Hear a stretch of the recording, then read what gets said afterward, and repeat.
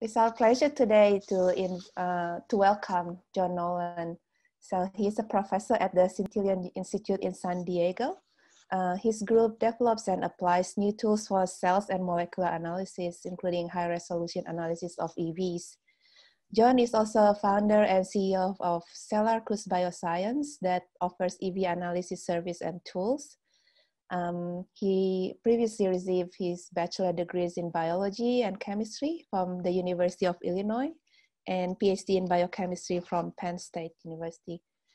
Uh, he was previously the director of the National Flow Cytometry Resource at Los Alamos National Laboratory and currently president of the International Society for Advancement of Cytometry, ISAC. John is a fellow of the American Institute of Biological and Medical Engineering, AIMBE, so uh, today he's going to share with us uh, his expertise in uh, single vesicle flow cytometry of EV number, size, and cargo. So please welcome John. Um, so today, yes, I'm going to tell you about single vesicle flow cytometry and try to convince you that um, it's time for a new gold standard in the field. So first, if I can advance my call do my acknowledgments and disclosure. So my uh, academic position is at the Scintillon Institute in uh, San Diego. We mostly are a technology lab. We have our own biological interests, but most of our biology happens through collaboration. And uh, we collaborate widely. So uh, we're working with the uh, NIH ERCC uh, group, the Extracellular Communication Consortium. Um, number of collaborators here locally in, uh, in San Diego, um, group of industry um, uh, partners, um, and the uh, Inter-Society EV Flow Cytometry Working Group, which I'll mention uh, a little bit later. And then yes, I've, uh, I'm the, uh, some of the technology I'll talk about today are being commercialized through Cellarcus Biosciences, which offers uh, EV uh, analysis services. And so trying to advance here. There we go. So here's an overview of what I'm going to talk about today. Um, I'm going to first emphasize why it's so important to measure individual EVs um, if we want to understand where they come from, uh, what they carry, and where they're going to go. Um, and sort of I'll give a, my, my assessment, which includes a little opinion about uh, the state of the field in this respect. I'll talk a little bit about why and how people are trying to use flow cytometry to do single vesicle analysis. And then I'll uh, spend the rest of the time talking about our approach to uh, single vesicle flow cytometry um, with a, focus on uh, cargo measurements.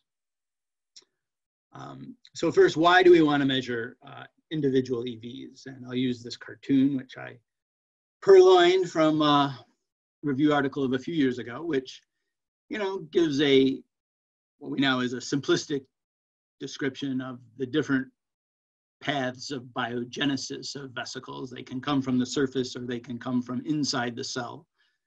We now appreciate that there's many different pathways, you know, both internal and uh, surface uh, directed for vesicles to be released um, and there are many more than just two types of vesicles, but for our purposes, we can consider uh, exosomes and microvesicles, if you wish. Um, those are released into the surface, uh, into, into the extracellular space, um, carrying cargo from the cell of origin, and they can interact in many ways with the receiving cell to communicate their information. Um, and so, you know, there's a, a couple decades now of work on characterizing uh, vesicles, mostly using traditional biochemistry. Um, and it appears that there's pr some pretty interesting stuff in this, uh, these extracellular vesicles. And if we're going to learn something new about intercellular communication, or if we're going to develop some new informative biomarkers, or if we're going to develop some new EV-based therapeutics, it's going to be because of the properties and features of individual vesicles, right? If there's a therapeutic EV carrying some magic cargo, we should be able to measure that EV as an individual. And so to elaborate on that a little bit more, we know that EVs in uh, extracellular space and certainly in biofluids are uh, complex and heterogeneous. They come from different sources within the cell and from different cells. Um, and so when we apply a conventional biochemical analysis, uh, for example, the classic spin and blot approach uh, depicted here, um, we get a picture of the average vesicle, right? We measure all of the uh, molecular components that are in uh, the sample, the proteins, the nucleic acid, um, and we get the picture of the average vesicle, which is you know, useful to develop a catalog of the components. Um, and we can look in the various online databases, uh, uh, and ExoCarta and the others, and, and find these lists of components. Um, but the problem is, is that there is no average vesicle, right? This vesicle here on the right doesn't exist. Um, it's a it's a it's a construct uh, combined, you know, that's derived from all these heterogeneous vesicles. What we really want to do is we want to assess uh, EV molecular composition at the single vesicle level. If we can do that, then we can start understanding what are the different subpopulations of vesicles, what are their molecular cargo, and start learning something about where they, where they come from, um, where they might be going in terms of a destination cell, um, and um, thereby improve the value of EVs as either informative biomarkers or potentially as um, therapeutics. And so this is, this is at the heart of the drive for single vesicle analysis.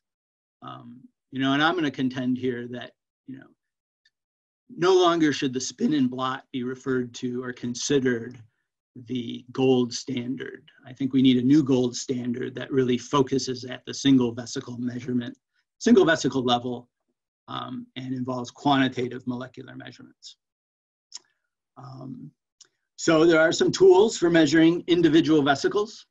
Um, nanoparticle tracking analysis and resistive pulse spectroscopy are the ones that most people will be familiar with.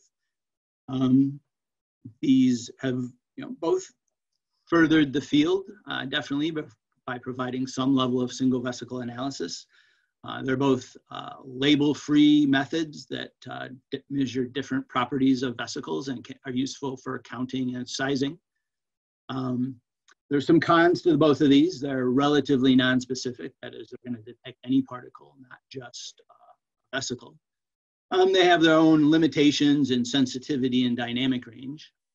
Um, and, you know, as of yet, no one's really shown a, a robust way to measure cargo uh, using these tools, although I know people are trying. Um, which leads us to flow cytometry, um, which we already know as a very sensitive and quantitative measurement tool for single particles. Um, people use these in cells all the time. They're uh, widely available. Almost everyone uh, is within walking or driving distance of a flow cytometer. There's lots of standards and calibrators to support quantitative analysis. Um, under most cases, you can develop these as homogeneous no wash assays and they can be compatible with automation for, uh, for uh, you know, large scale analysis.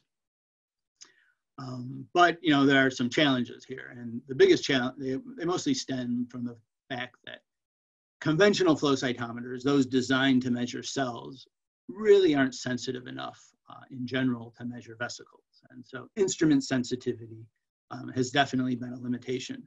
This is changing now with the availability of a newer generation of high sensitivity instruments. Um, but the final word on flow cytometers for uh, vesicle analysis probably hasn't been written yet. Um, another big limitation of conventional approaches is that the assays lack specificity. They often use light scatter to detect cells, which makes sense because cells are big and scatter a lot of light. Um, but for vesicles, which are small and hardly scatter any light at all, um, it can be very difficult to tell the difference between vesicles and various other sources of background that are in, um, are in a sample. um, combined with the fact that a lot of the key methodological details uh, aren't haven't been reported, at least historically, um, has led to reproducibility overall. Um, and this is the focus of the oops, of the EV uh, flow cytometry working group, which is a, uh, I guess a kind of a formal group now uh, of people who are associated with these different societies and have worked on both vesicle analysis and flow cytometry uh, for some years. And you know, to address this issue of, of reproducibility and uh, reporting, um, earlier this year, uh, the group published uh, a guidelines manuscript that sort of laid out what you need to report about a flow cytometry measurement. Um, this doesn't necessarily tell you how to do it. Um, there's a manuscript in preparation that might get more towards that. But this is just saying, what do you need to report about your, your measurement? And if you read this paper closely, you'll see that there are aspects of the reporting that are related to the instrument, um, which is important because the instrument is a big part of the measurement.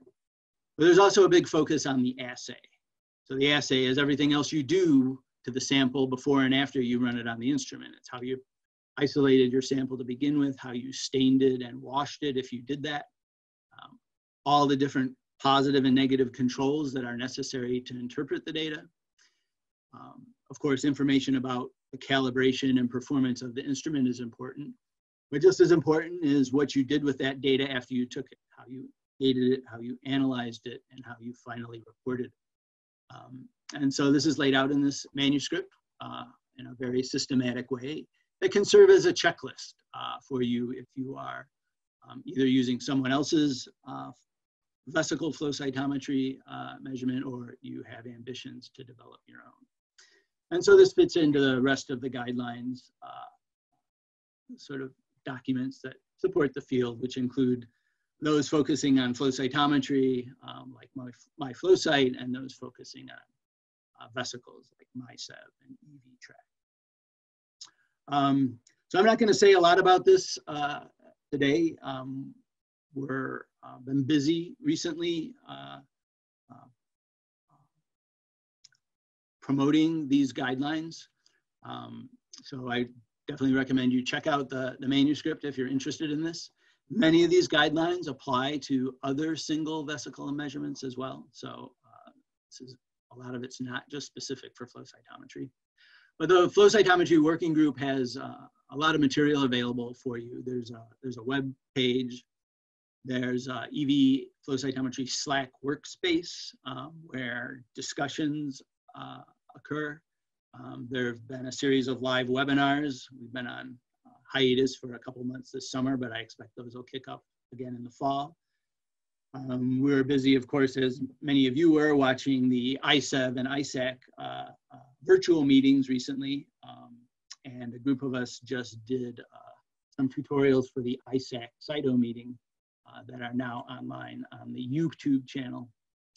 And I mentioned uh, the manuscript and present preparation. So there's a whole set of resources that are available to help uh, you do EV flow cytometry here's here's the screen here's the uh, the web page of the working group and uh, the YouTube uh, uh channel with the recent tutorials that we just gave last week or the week before.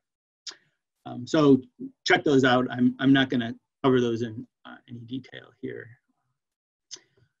except to point out that you know there's a lot of different ways you can use a flow cytometer to measure vesicles, and it's sort of laid out here historically, people have used uh, forward angle light scatter to detect cells, um, but that has def definite disadvantages for uh, EVs, which are much smaller than cells. Um, if one were going to use light scatter to uh, detect an EV, one might choose to use side scatter, which has lower background compared to forward scatter. But even this is, is pretty challenging, uh, using light scatter to detect vesicles. And a number of groups have uh, observed that using fluorescence can provide improved sensitivity and specificity. And in the fluorescence department, we can think about using a fluorescent antibody to detect an EV, uh, which will work, uh, except that you'll only detect the EVs that found the fluorescent antibody. More general approaches uh, would take a membrane stain or a cytoplasmic stain to stain EVs generally. Um, so one has a, a, number of choices to make here.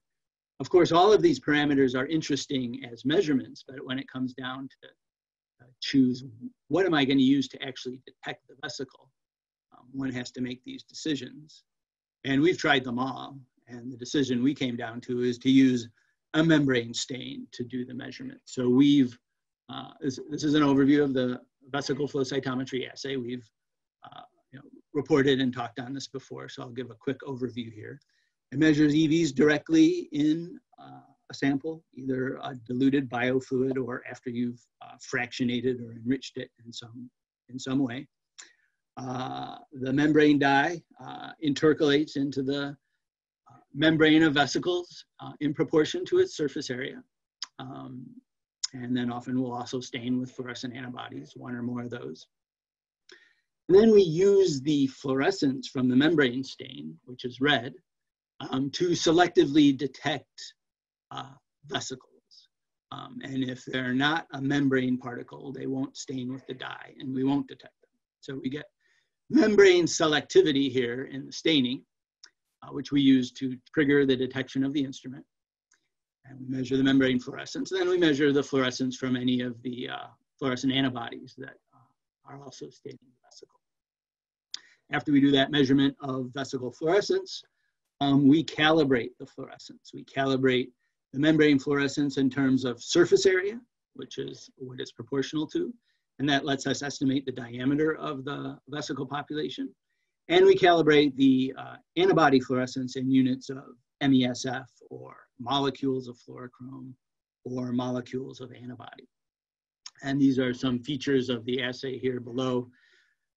As I mentioned, a few of the newer flow cytometers with high sensitivity detectors um, are better for this than the old uh, lymphocyte analyzers. And on a typical uh, instrument, we estimate uh, right now that our limit of detection for size is between 70 and 80 nanometers, say, and for uh, molecular cargo, we'll call it 25 molecules, sort of a conservative uh, estimate. We're probably doing a bit better than that. So That's an overview of the VFC assay that I'm going to talk about uh, today. And so all the data will have been through this assay. The assay is supported by a number of uh, calibrators and standards, which you know, are essential part, essential part of any uh, robust assay. So we've got some vesicle standards, a synthetic lipid vesicles, uh, zone that serves as our, our size standard, also serves as a negative control for immunofluorescence. We've got some bead-based uh, intensity and antibody binding standards, which are useful for that fluorescence calibration that I described. And then we've we developed cell-derived EVs, uh, EVs isolated from specific cell types that bear specific uh, cargo that we're interested in. And these are useful as positive controls for our assays. Um, and so then the way we think about this, we have instruments and you have assays and Cellarcus is looking to provide is the assay kit that will run on these instruments. That is the kit that contains not only the, the reagents, calibrators, the standards, um, but also the protocols for preparing and analyzing the data. And so uh, if, if, if, you buy the kit, you get the protocol, which is all set up for plate-based assays. Um, and then there's also a data analysis uh, template to do the data analysis. And by having well-standardized protocols for both sample preparation and for data analysis, um, we can get you know, good reproducibility both within labs and between labs. Um, the VFC assays include all the essential controls that you know the working group defined as being important to uh, having reproducible uh, reporting, uh, including things like a dilution series, which allows us to test for this coincidence or swarm artifact that's a big issue in the field. Um, it also lets you know what the dynamic range of your assay is, which is, is important. in typical use, uh, the VFC assay has a couple logs of dynamic range, so around a hundred-fold range of, uh, of uh, vesicle concentration. Um, another important specificity control is to show that your, your, your particles that you're measuring are detergent labile. Uh, we would expect uh, vesicles to dissolve when you add an appropriate amount of detergent to that, and that's a that's a controls that are built into these assays as well. Um, so it really has to do with the detection of the vesicles, the measurement of the size, the demonstration of specificity and dynamic range. But really the reason to use single vesicle analysis is to measure the cargo. Um, and there's lots of interesting cargo in vesicles. There's proteins on the surface, there's proteins inside, there's nucleic acids probably inside, although there's some discussion about how much of those that's on the surface. Um, but anyway, we're going to focus uh, to start with here on surface cargo, and we'll we'll focus on the tetraspanins, which you know, seems to be the first type of protein that most people think about uh, when they think about vesicle associated proteins. And in most uh, papers being published these days, you'll find a Western blot with one uh, of these markers measured. In especially comprehensive measure papers, you might find examples.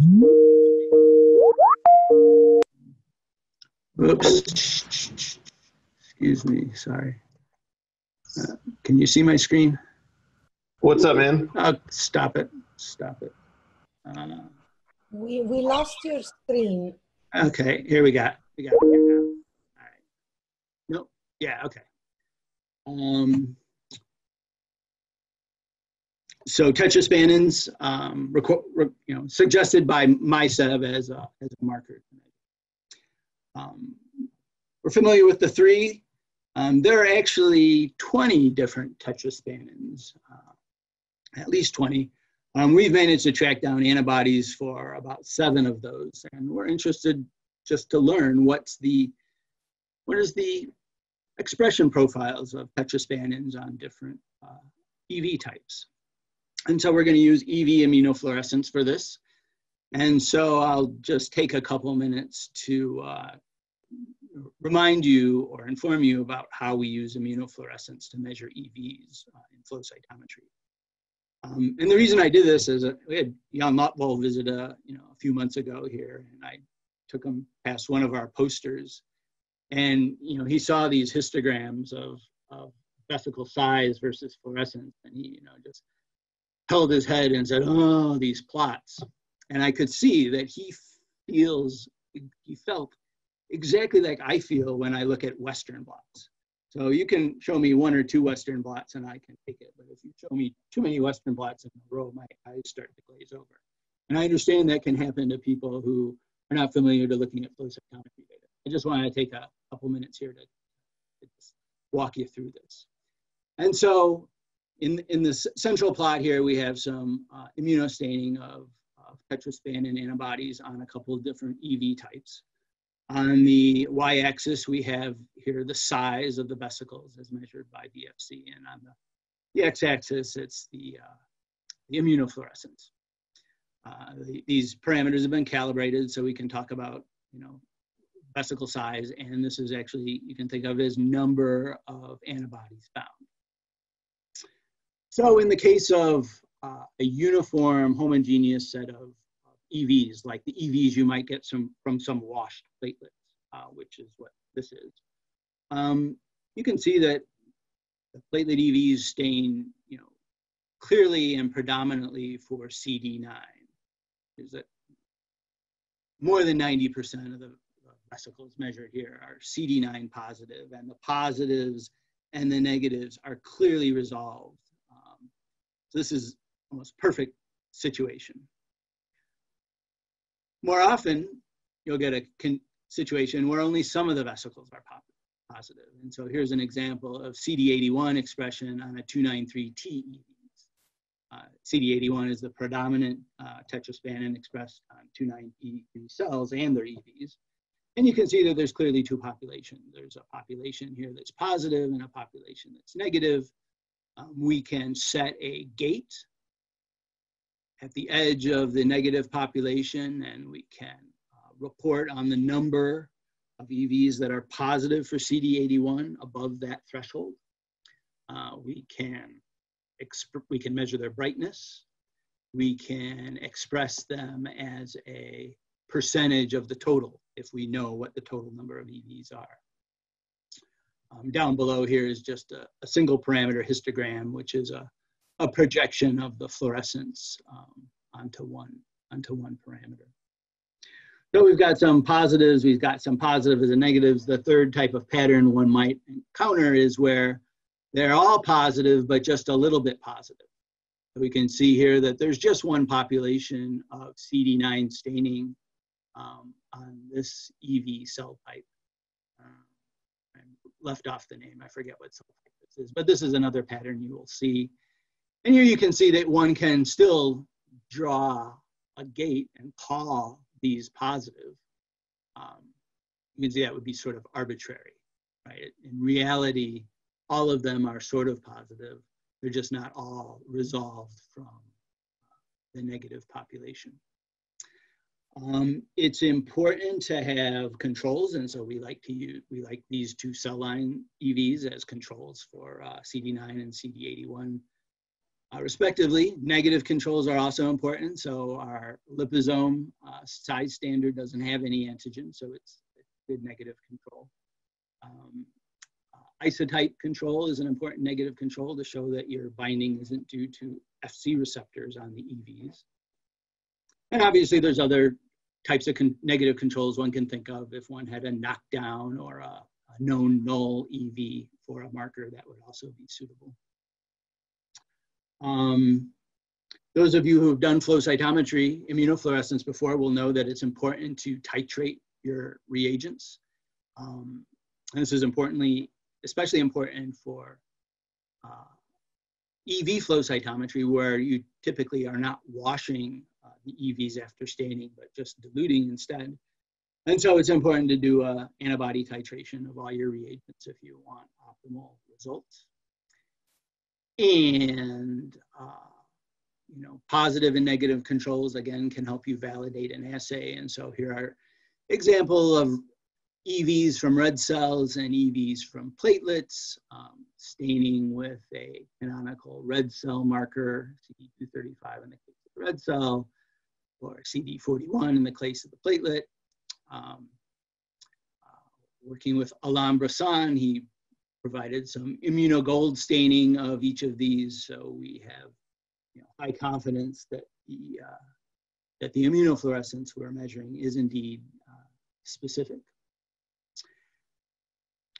And you know, with, with a well-tuned uh, immunofluorescence assay, we can now start looking at the tetraspanin expression on different cell types. And so here's a couple cancer cell lines that uh, we've uh, we've analyzed. Um, you can see uh, the, the unstained vesicles and then the vesicles stained with each of, in this case, five uh, different tetraspanins, each conjugated to PE. PE is probably the brightest widely available uh, fluorescent label for uh, antibodies. So it's the one uh, we start with. The, the calibration is straightforward because there are commercially available PE intensity standard beads. There are, um, in general, the, the number of PEs to antibody is one to one, so it's a, it's a, it's a simple calibration.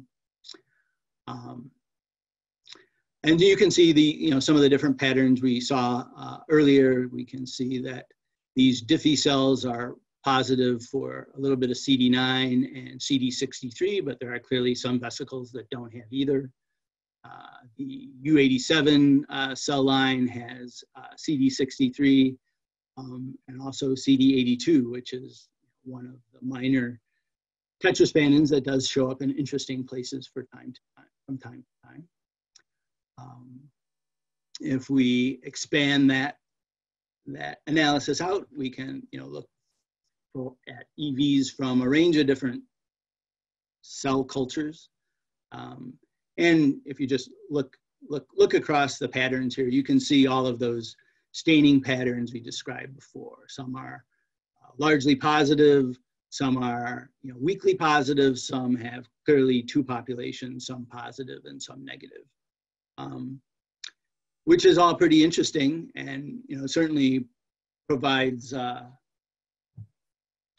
some food for thought amongst those who you know would consider tetraspanins as sort of universal uh, EV markers.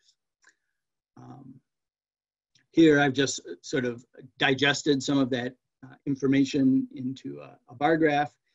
Here we're plotting the median fluorescence of the population. So you can think about this as number of molecules of antibody uh, for each of these different uh, tetraspanins on EVs from these different cell lines. And looking at this, you can see that not only does the you know proportion or ratio or profile of, tetraspanins vary from cell type to cell type, so does the absolute amount of tetraspanins found. So, you know, both which tetraspanins are expressed and how much, um, you know, varies in pretty interesting ways. Um, so these were all done with uh, PE conjugates, which as I mentioned before is where we start. Um, and now we are we're starting to put together uh, multicolor panels. Um, in this case, we've got a three color tetraspanin uh, cocktail where each of the three tetraspanins bears a different fluorescent label. Um, and this is to allow us to do, uh, you know, look, at, look at the tetraspanin uh, profile on a single vesicle level, you know, simultaneously. Um, a, a complication when one starts building out multicolor panels like this is that different fluorophores have different thicknesses, and it's important taking that into account. And so this is where calibrated antibody capture beads come into, into play. So these are calibrated in terms of their antibody binding capacity so that when we stain them with new fluorescent conjugates, we can get a feel for um, how A, how well the conjugate is labeled and what resolution we might expect is. Um, but also this allows us to now calibrate in units of antibodies per vesicle. Um, okay, so we know that tetraspanins are on vesicles. We knew that already. Um, interestingly, we find that tetraspanin expression varies quite a bit from cell type to cell type vesicle type, the vesicle type. Um, we know that some EVs don't have any tetraspanin and those are interesting as well. Um, so our next step is to start using uh, surface cargo like tetraspanin with intravesicular cargo. So how do you measure intravesicular cargo at the single vesicle level? Well, uh, it's hard, uh, harder than measure, measuring surface cargo. And we have not yet figured out how to stain intravesicular antigens with antibodies. We're working on it and we have some ideas, but it's complicated as you might imagine.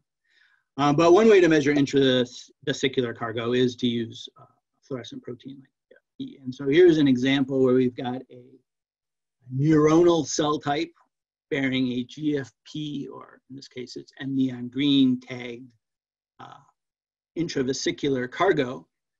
Um, and we're looking at this in a couple of different uh, cell lines. We've got a, a wild type cell line, and we've got a patient derived um, cell line.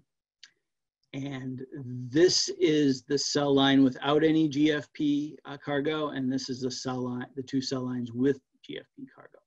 And you can see here, this is, this is the, the fluorescent protein cargo. There's not very many positive uh, GFP positive vesicles above our limit of detection. It's just uh, a couple percent. But if we uh, gate on those uh, positive vesicles and backgate them onto a plot of tetraspanin fluorescence, uh, we can see some interesting things. And so just to describe this a little more carefully, so these vesicles that are over the gate here are higher than the gate. We're going to call those uh, positive for our cargo. And if we highlight those in green here on a, on a plot of size versus tetraspanin expression, and here we're using a mix of the three tetraspanins, we can see that most of the positive vesicles are in a tetraspanin positive population. Um, but in the disease uh, genetic background, uh, we have actually even more fluorescent protein positive vesicles. But if we look at where they appear in terms of tetraspanin expression, we can find that in this case, there's a lot more of the fluorescent protein cargo that's showing up in the uh, tetraspanin negative population. And so this suggests that this genetic mm, lesion is impacting cargo uh, transport such that uh, the, the, the, vesicles containing uh, the, the fluorescent cargo um, in, the, in the wild type state are mostly tetraspanin positive, but in the disease state are in, uh, to a great degree, tetraspanin negative. And so it's an interesting hint as to the intracellular trafficking and biogenesis of EVs.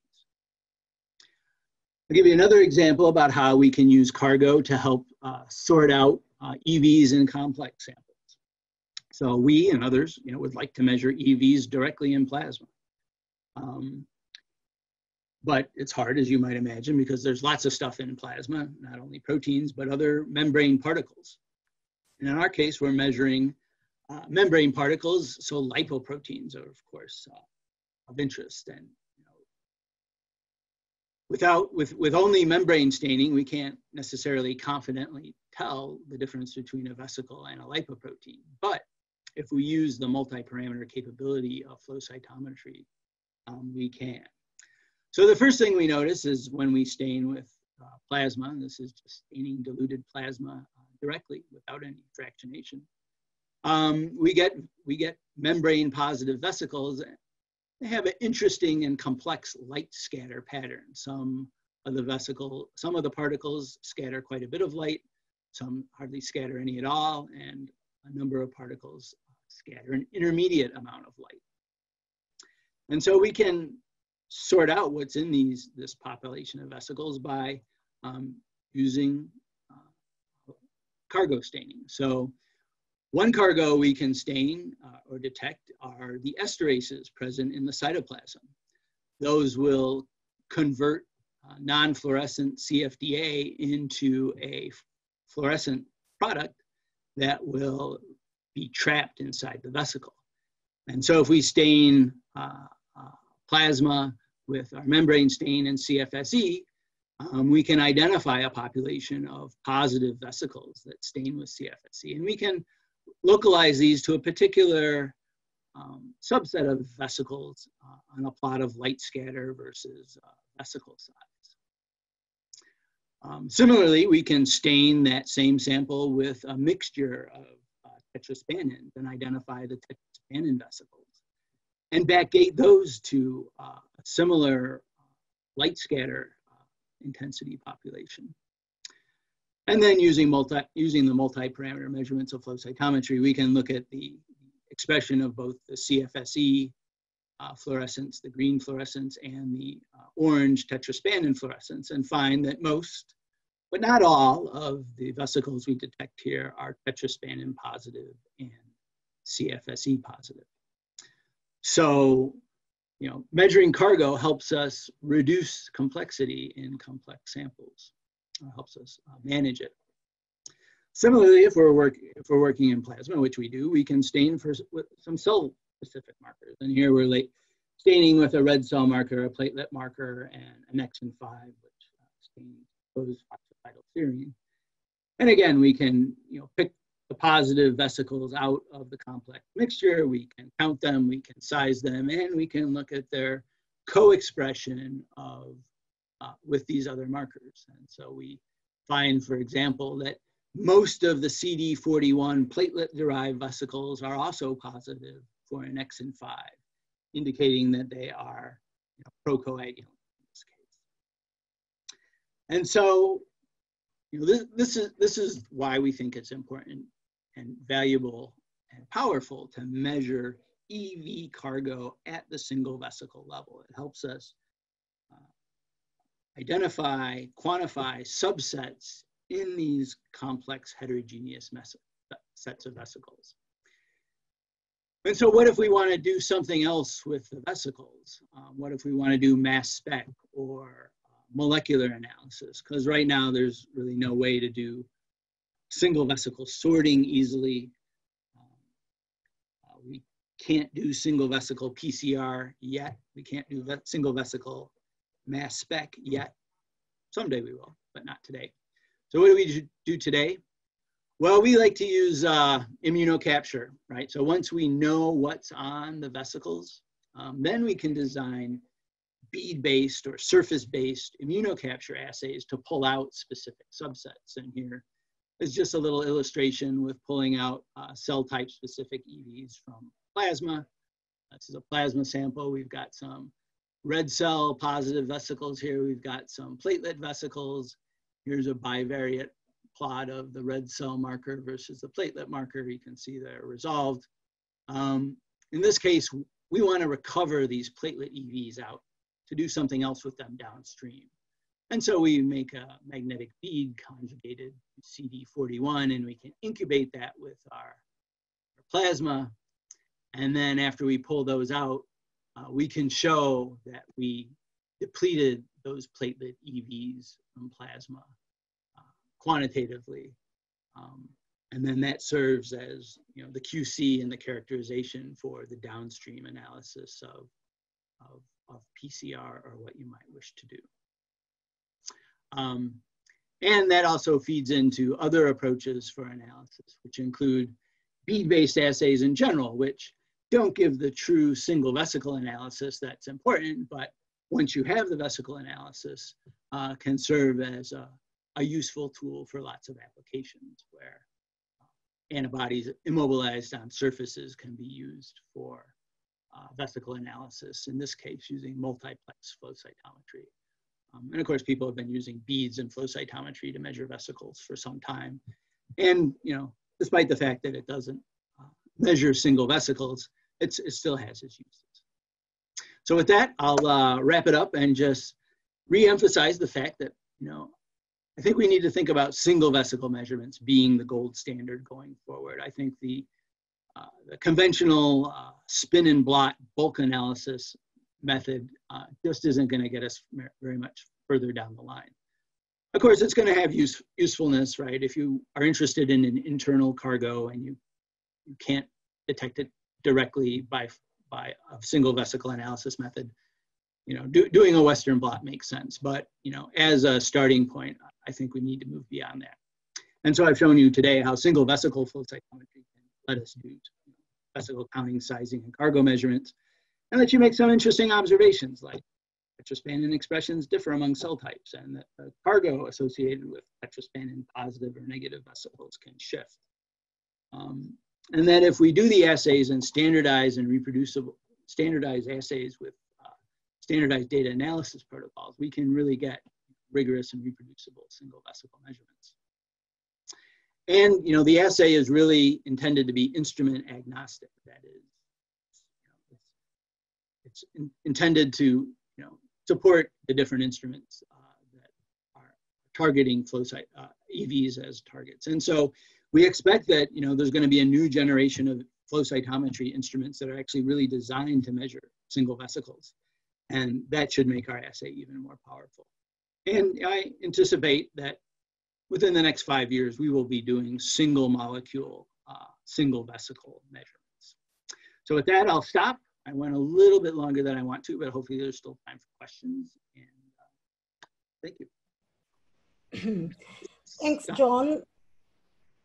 Uh, this was a wonderful presentation. It's very important to have this kind of presentations where we have guidelines for such an important method to study EVs. Um, so thank you so much for clarifying a lot of points. We have several questions. Um, maybe we can start with Phil, who has a couple of questions, and then we will move to Tatiana Wagner and then Alisa. Hey, Phil. And then I'll look at the if there is anybody else. Okay.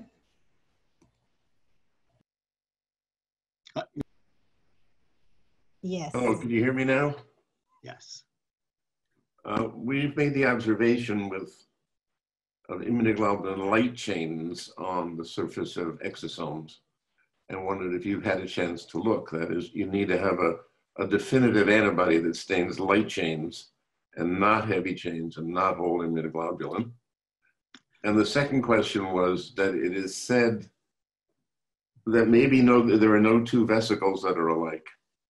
Um, and you haven't looked at a lot of parameters yet, but where do you think that question might end up?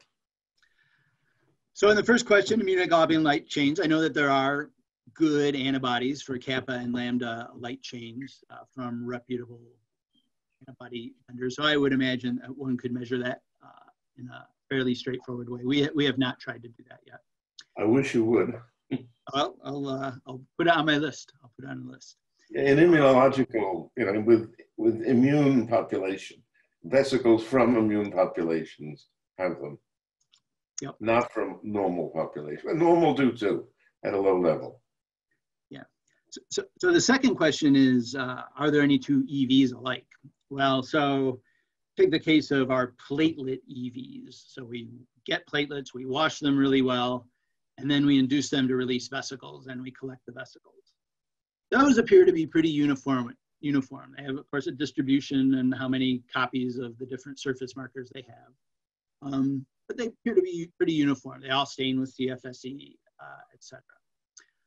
Um, if you look at even a simple cell culture, uh, you can see lots of heterogeneity though. Um, and certainly if you're moving into uh, complex biofluids, there's a huge amount of heterogeneity. Um, so it's you know going to be important to start tracking this um, not only to look at the different types of vesicles that come out from a single cell type, for instance, but also looking at how cell culture conditions affect those uh, EVs, especially in the context of like MSC EVs as therapeutics, right? Right now, people are just treating these as a monolithic population of vesicles where uh, we know that there's actually heterogeneity in there and that heterogeneity varies with the culture conditions of the cells. And so as we move into the brave new world of EV therapeutics, I think people are going to have to come together. Well, that would be very. Uh-huh. Thank you.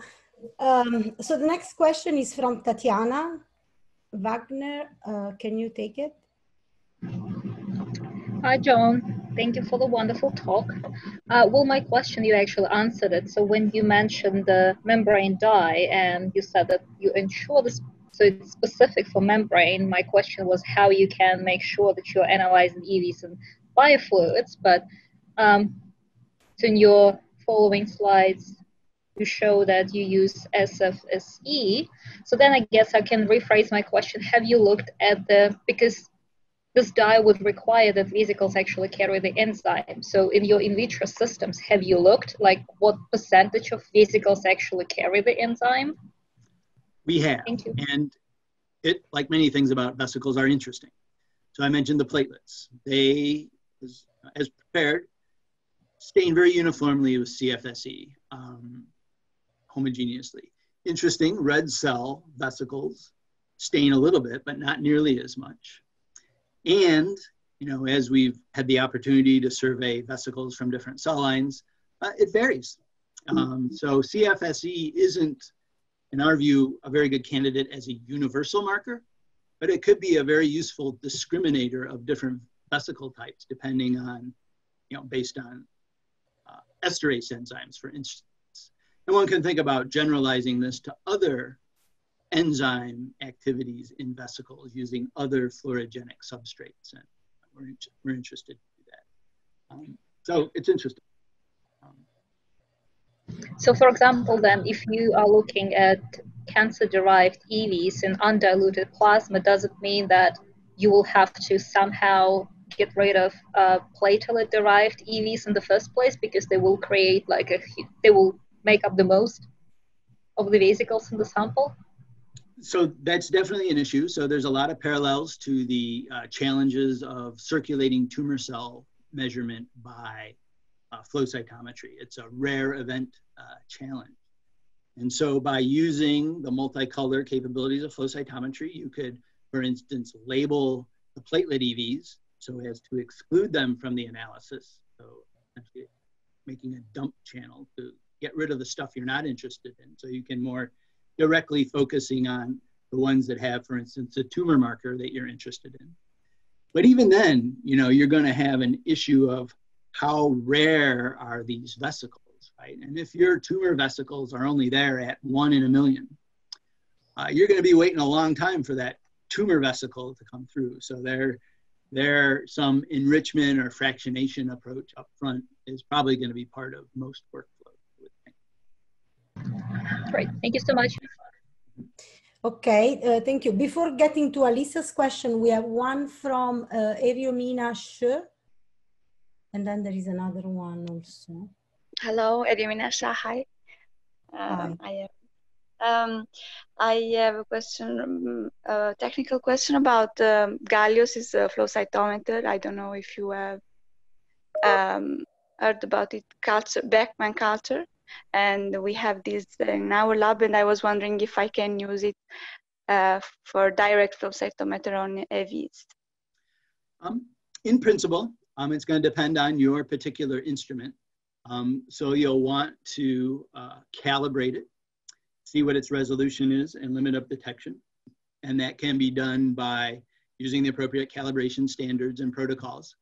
Uh, if you're interested in doing that, I would check in with the EV flow cytometry group who you know, deals with these things all the time. They could give you some uh, pointers and tips. Contact me offline and I'll, I'll tell you what I think too. Um, so in principle, you can. The, the trick is to calibrate your instrument and characterize it and you know, establish that it's, it's, it's suitable. Okay. I, I had one uh, uh, about the antibodies that bind the, the AVs. Does uh, do these antibodies um, increase the size of the AVs or they are too small? So the you know an antibody is I don't know about 10 nanometers in size. If you uh-huh. got if you have it labeled with phycoerythrin, which is a large fluorophore, maybe another 10 nanometers in size. So you might have 10 or 15 extra nanometers.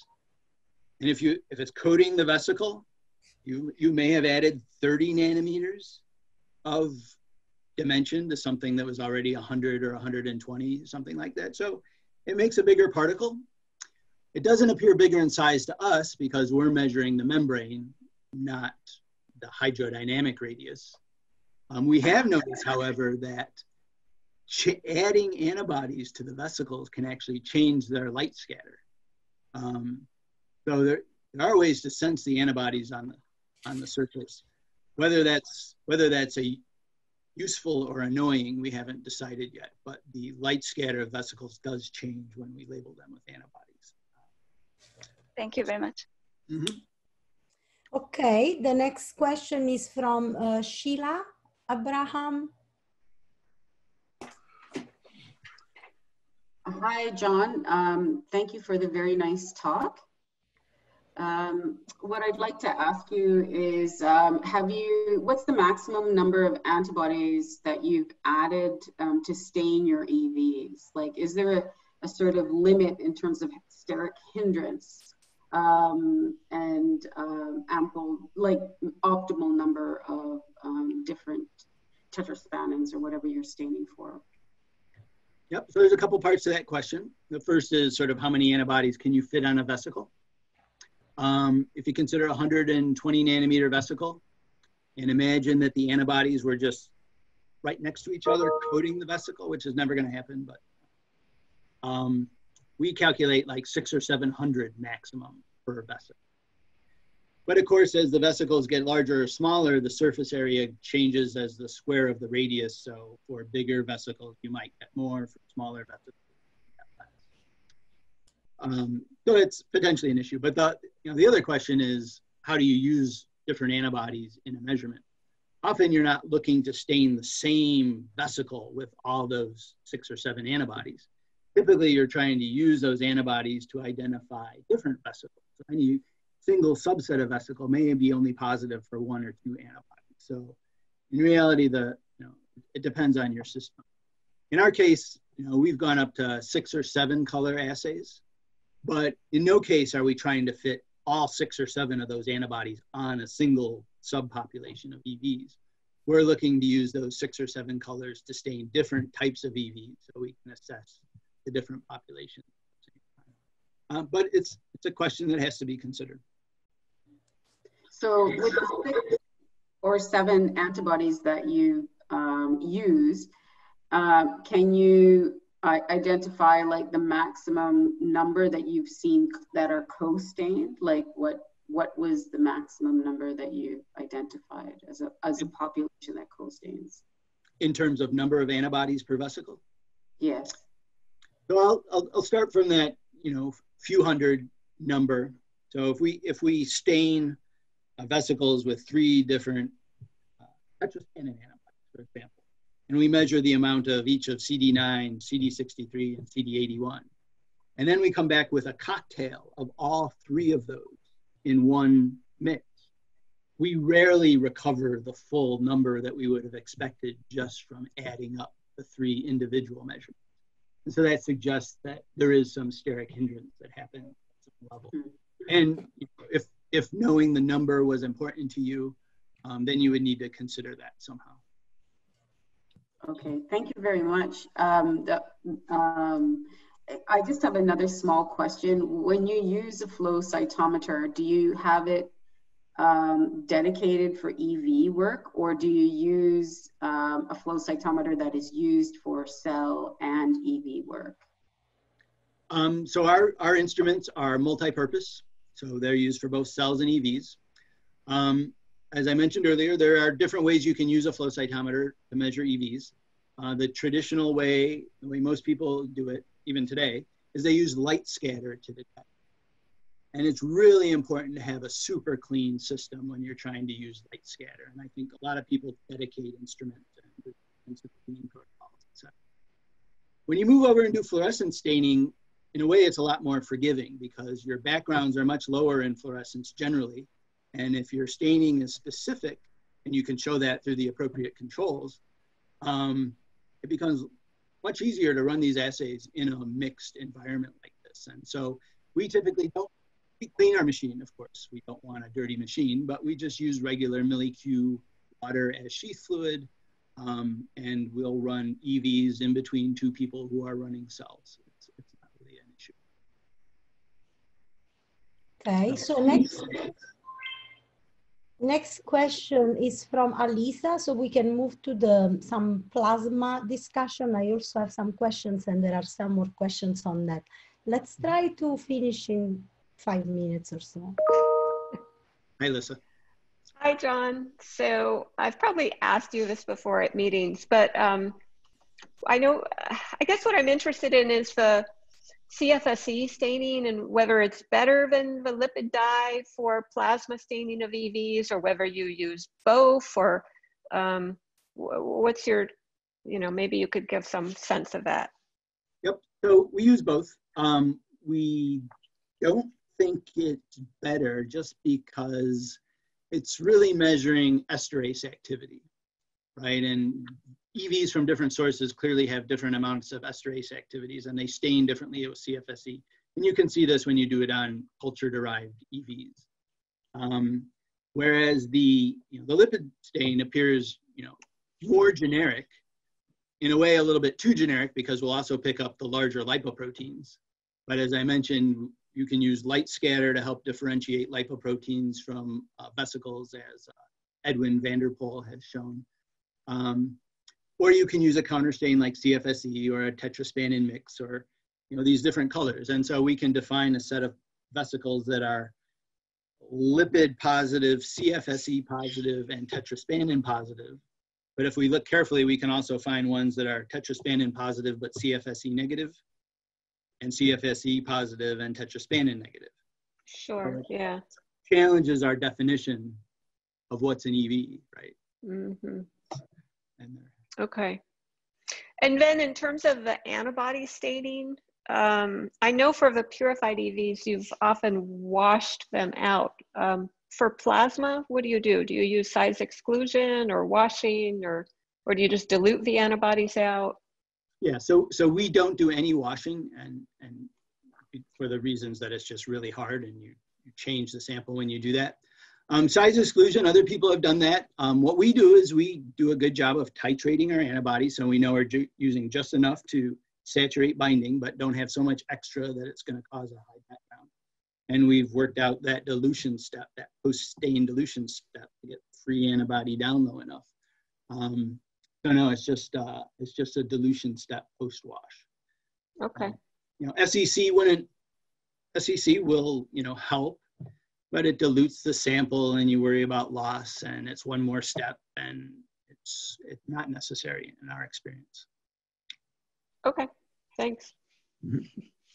Um, I, so, so I also have a quick question. You've shown very nicely that if you um, if you stain with CD41 plasma vesicles um, and you you subtract that positivity, you have much fewer vesicles in the plasma. That would be my conclusion.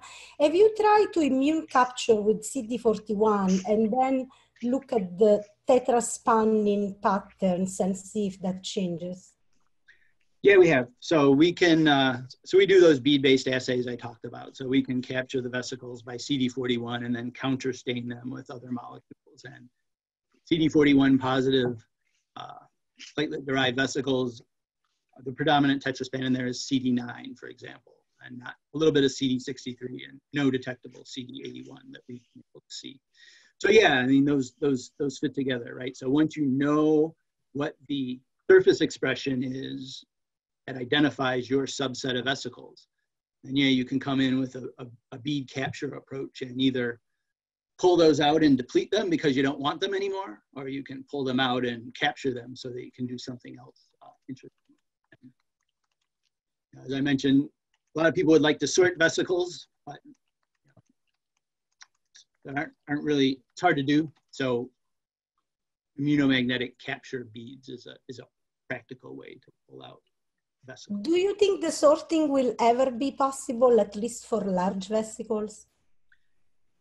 Um, yes, you can sort. People, people, you know, have sorted. Um, there will be new instruments that come out that will be more sensitive and be more practical to sort.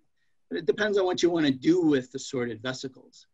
Vesicles are a million times smaller than a cell. So if you want to do mass spec RNA, that's going to be a long sort to get enough material to do anything with. Um, but you know, it's a challenge to the molecular people to come up with uh, more sensitive PCR and mass spec methods, and then maybe we can uh, we can do something. So, lot, lots to be done.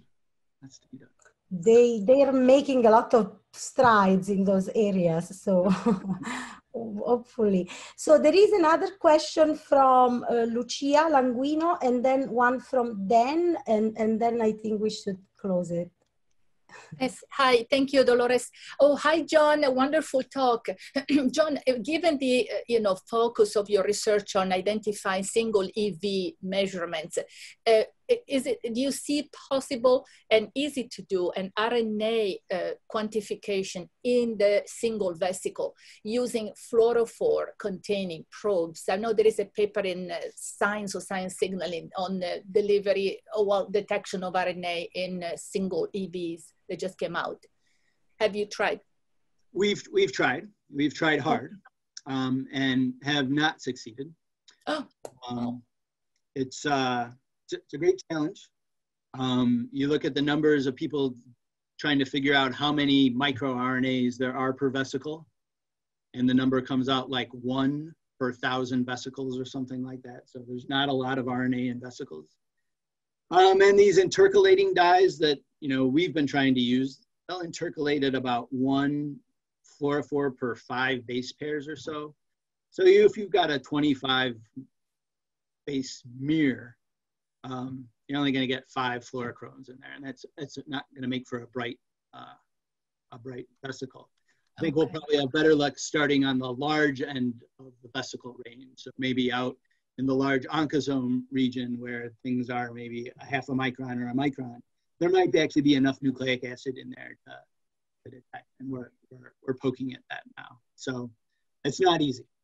It's not Thank you, John. Thank you very much. Very helpful. Actually, I, I needed to so I don't start a new line of research on that. Thank you. Um, so now there is a question. There are actually a few more questions. Uh, one from Yanel Bernardi, which is along the same lines. Can we do this quickly? Yeah. Hi, Sean. Uh, nice talk. Um, my question is uh, similarly uh, Lucia question. Uh, how you detect uh, microRNAs in, in the EV uh, flow cytometry? We have not. We've tried um, and have been unsuccessful that I've been able to convince myself. Um, so I just think that there's not enough, not enough stuff in there to detect using current technology. So there's still still an opportunity for someone to to make a breakthrough here. Um, okay. Then, thank you. Next. Hi, John. Uh, thanks. That was a great talk, and it's also comforting to see all the struggles that you go through with this. Uh, makes us feel a lot better. So, I was wondering if you could recommend um, any antibodies for CD9, 63, or 81 um, for mouse uh, studies. I saw that a lot of the stuff that you're doing is human. Um, are there conjugated antibodies that you would recommend, or maybe conjugating those in house? Um, so you, you can contact me offline um, we've we've worked out the humans uh, quite well and have started on the mouse, and so we we think we have the the three main tetraspanins uh, figured out for the mouse, and you know are expanding from there. So yeah, in principle, I mean it's basically just trial and error. You know, buying antibodies from different uh, companies, trying different clones, you know, not antibodies have to be pretty clean for EV flow. So some manufacturers provide a higher quality, cleaner product than others, and so there's a little there's a little shopping that is involved there too. And then at the end of the day, if, commercial products aren't good enough, uh, you end up having to make them yourself. So feel free to shoot me an email. Great, thank you. Okay, and then there is another, the last question from Patricia Ozawa. Yes, hi. Yeah, okay. Yes, I am. I was just wondering if you do a manual gating for every experiment or if you have an ultimate way to analyze your data. Because I noticed from some graphs that they look different. So I was just wondering. Um, so in general, we are using uh, manual setting of gate uh, by an expert human, you know, who looks at the negative controls and sets a threshold and uh, reports the data. so once we set up our gates based on our positive and negative controls, then we just run the analysis as a batch. Um, the use of automated and AI assisted computational tools to analyze this type of data, I think, you know, is interesting and has some potential. Um, but you know, our data is, you know, basically is the is the human there who knows what sample they're running and adjusts the gates based on their um, experience and the instructions of the protocol. Thank you so much again, uh, John. I'll pass it to Carolina uh, for closing the meeting. Thank you. Okay, uh, thanks so much, John. This is very uh, full of information and also tips and tricks to how to analyze uh, either cell culture or uh, biofluids, and in this case, uh, plasma-derived vesicles uh, using flow cytometry. So thank you so much for that. And also thanks Dolores for leading the question and answer. been wonderful discussions.